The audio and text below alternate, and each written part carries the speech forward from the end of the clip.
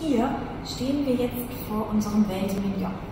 Es ist nicht, wie viele Besucherinnen und Besucher glauben, eine Art Wohnzimmer anrichte, denn dann würde es ja nicht bei uns im Museum stehen, sondern ein pneumatisches Klavier.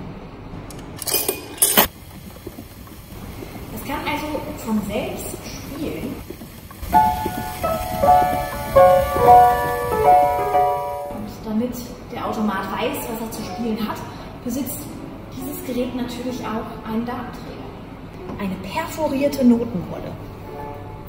Wenn sich nun Löcher aus der Perforation des Papiers über diesen Gleitblock schieben, gelingt es dem Automat an diesen Stellen, wo im Papier Löcher vorhanden sind, Luft in das Innere zu saugen.